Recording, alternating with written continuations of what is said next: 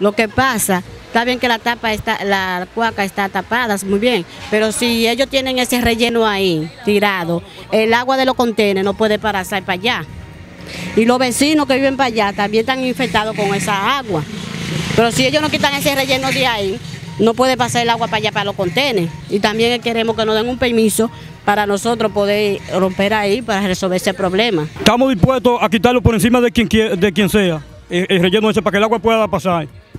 ¿Aproximadamente qué tiempo tienen ustedes con esta problemática? Eso es lo que tiene como un mes. Y, y tú sabes que el contenedor no se, puede, eh, eh, no se le puede poner obstáculos, el agua tiene que pasar como quiera por el contenedor. Nadie, tiene- nadie es permitido meter- tirarle relleno al contenedor para que el agua no pase. Adiós, que venga Cora Vega o que hagan algo, porque eso también no puede estar así, vaina. Y también que quiten ese relleno para allá, porque ellos también tienen que entender que aquí en este patio viven niños chiquitos, porque eso no nos corresponde tampoco a nosotras, tú, tú sabes.